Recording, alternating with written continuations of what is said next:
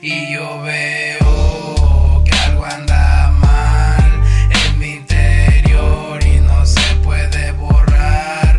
Creo que no soy yo, me alejo de más.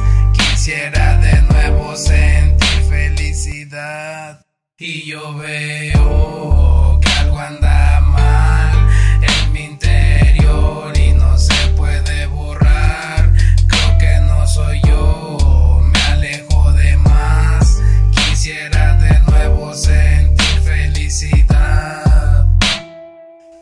personas me dan su opinión, me preguntan que por qué quiero estar solo si la soledad